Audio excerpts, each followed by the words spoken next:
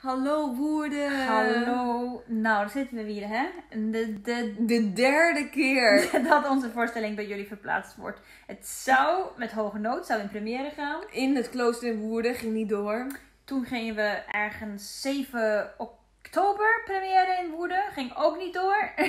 En nu zouden we op 28 november bij jullie komen spelen. En 26. 26 en wederom kan het niet doorgaan. Maar we hebben goed nieuws. Het is verplaatst naar 13 februari. En we hopen dat dat nou eenmaal zo ver weg is. Dat het dan toch wel een keer door zou moeten kunnen gaan. Want Woerden is onze droomstad. En vier keer scheepsrecht.